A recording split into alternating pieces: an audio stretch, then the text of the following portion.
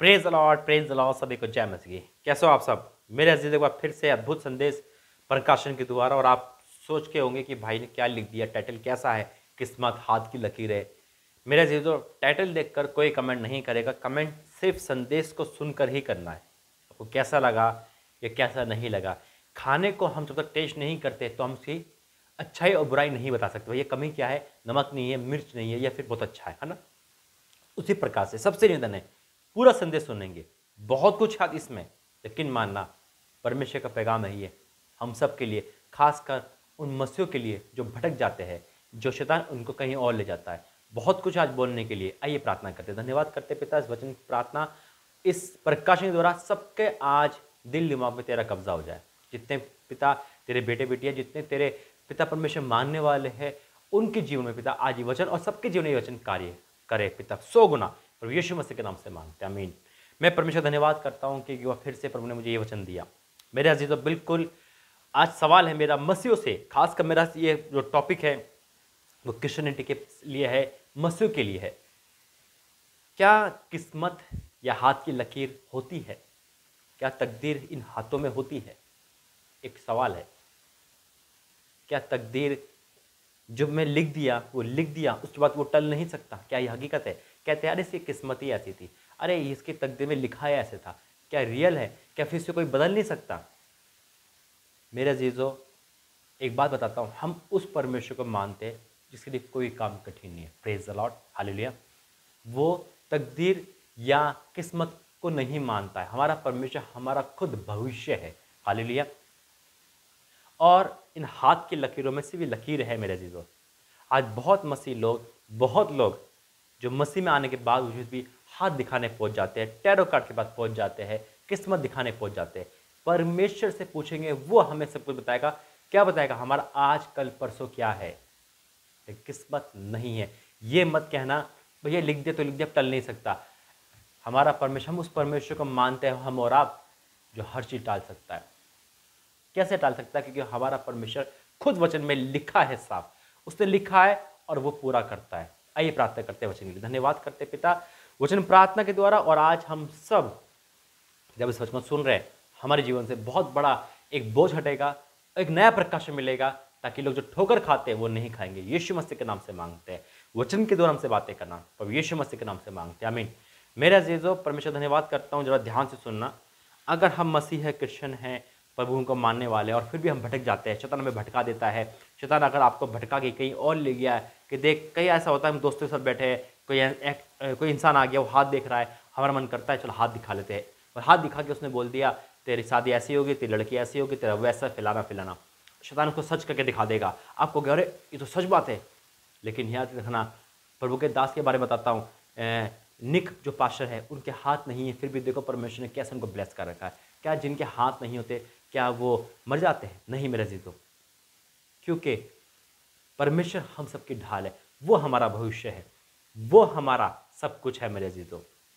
आज शैतान में आकर आप परेशान होकर कभी भी इन जगह में मत जाना। सारी बात बताऊँगा, क्या होता है। पहली बात ये बताऊँगा, हमारा परमेश्वर अपनी इच्छा बदलता है। हिचकिया जब बीमार हुआ था तो परमेश्वर क्या कहा था? तू नहीं बचेगा, मर जाएगा।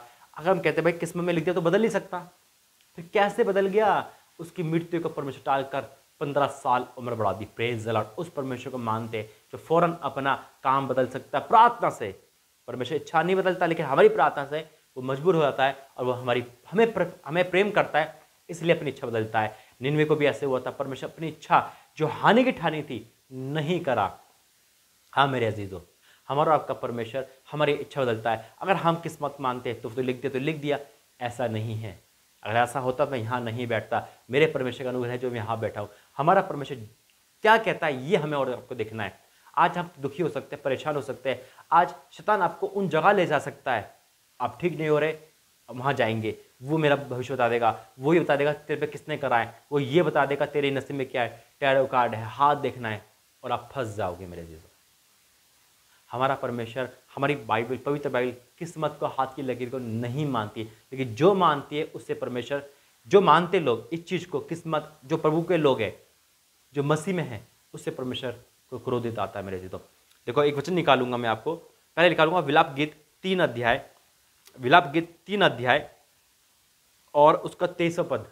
विलाप गीत तीन का तेईसवा, क्या लिखा है? हम मिट नहीं गए, बाईस से पढ़ रहा हूँ। विलाप गीत तीन का बाईस में हम मिट नहीं गए। ये यहुआ की महा करुणा का फल है, क्योंकि उसकी दया अमर है। उसकी दया अमर है। सुनना गौर से। प्रतिभोर वे नहीं होती रहती है। तेरी सच्चाई महान है। प्रतिभोर नहीं होती रहती है। तो कहाँ है किस्मत? हमारा परमेश्वर खुद हमारा भविष्य है। तो नहीं कैसे होती रहती है? भाई, जो चीज़ लिख दी तो लिख दी ना। लेकिन हमारा क्या है? प्रतिभोर नहीं सोचते रहता है प्लानिंग करते रहता है। हाले लोहिया एक वचन और पढ़ूँगा मैं। यशया तरतालीस उसका तेरह। यशया फोर्टी थ्री उसका तेरह। क्या लिखा है? मैं ही परमेश्वर हूँ, भविष्य में मैं ही हूँ प्रेज अलॉट यानी कि हमारा आज, कल, परसों सब परमेश्वर है, सुनो। मैं ही और भविष्य में ही हूँ। मेरे हाथ से कुछ छुड़ा ना सकेगा। जब मैं काम करना चाहूँ, तब कौन रोक सकेगा? हाल लिया आज परमेश्वर हमें और आपको सारी बात बताता है। इसलिए मेरे जो तो आज अगर मसीह में हो तो कभी किस्मत का नाम मत लेना, कभी किस्मत को मत मानना। कभी हाथ की लकीरों पर विश्वास मत करना, कभी इन चक्कर में मत पड़ जाना, क्योंकि अगर आप, शैतान आपको उन चक्कर में ले गया तो याद रखना मेरे जीजो परमेश्वर क्रोध है जो आप पर भड़केगा। भविष्यवाणी होना, प्रभु के दास को जाना, कोई बुरी बात नहीं है। वो किस बंदी बताते हैं? परमेश्वर उनको जो बताता है, आपके बारे में वो वो बताते हैं। हाल मैं प्रभु धन्यवाद करता हूँ, यहाँ बैठता हूँ ऑनलाइन, और परमेश्वर मुझे नाम बता देता है, परमेश्वर मुझे आने वाली बातें बता देता है तो ये परमेश्वर बताता है। वो जानता है ना मैं नहीं जानता, मैं नहीं कह सकता, मैं हा कोई ये कहे, हाथ दे के बताता हूँ भाई, मैं कैसे कहूँ? हाथ देख के, सर देख के नहीं है, ये हमारी में नहीं होता। हमारा परमेश्वर यहाँ खड़ा होगा साइड में, अंदर खड़ा होगा, प्रभु को धन्यवाद करते दूध यहाँ खड़े होंगे, वो बताएँगे, वो आपका नाम लेंगे प्रेज द लॉर्ड हालेलुया लेकिन शैतान क्या करता है? गुमराह करता है। आज बहुत से क्रिश्चियनिटी बहुत से बीमार लोग ठीक होने के चक्कर में या एक शांति के चक्कर, किसी के चक्कर में भटक जाते हैं। शैतान उनको परीक्षा में लाता है और वो भटक जाते हैं। और उनके साथ जैसे भी मैं बता उनके साथ कोई ऐसा इंसान आ जाएगा जो सब कुछ बता देगा आपके बारे में। पास्ट पास्ट बता देगा। और उसके बाद क्या होगा? आप शैतान में फंस जाओगे। देखो, एक वचन पढ़ेंगे, और ये चेतावनी है हर क्रिश्चियनिटी की हर एक मसीह के लिए, ये चेतावनी है परमेश्वर की ओर से। कंडीशन कैसे भी हो, हमें परमेश्वर विश्वास रखना है, परमेश्वर की आत्मविश्वास रखना है, पवित्र बाइबल विश्वास रखना है, और विश्वास कहीं नहीं रखना। सुनो, क्या लिखा है? पहले लिखा लेंगे पहला राजा दो अध्याय उसका पहला राजा दो अध्याय का एक वचन से पढ़ एक अध्याय से पढ़ूँगा।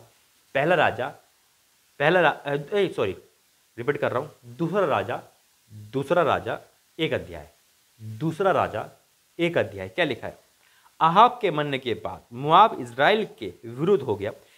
अहजिया एक जालीदार खिड़की में से जो शैमुन में उसकी अटारी में थी गिर पड़ा और बीमार हो गया। एक व्यक्ति बीमार हो गया। सुनना, गौर से जरा, बिल्कुल सुनना। तब उसने दूतों को यह कहकर भेजा, तुम जाकर एक्रोन के बाल जबुल, बाल जबुब नामक देवता से ये पूछ पूछ आओ कि मैं, क्या मैं इस बीमारी से बचूँगा या नहीं? कहाँ भेजा उसने? परमेश्वर के पास नहीं, किसी बाल देवता के पास, यानी कि बाल जबुल के पास, एक देवता के पास भेजा। किसने भेजा? जो बीमार था। क्या भेजा? मैं ठीक हुआ, नहीं हुआ। क्यों?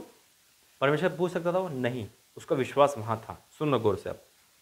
तब यहुआ के दूत ने एलिया तविशी एलिया से कहा, उठकर शेमुन के राजा के दूत से मिलने को जा और उनसे कहे, क्या इसराइल में कोई परमेश्वर नहीं जो तुम एकरौन के बाल जो देवता से पूछ, पूछने जाते हो?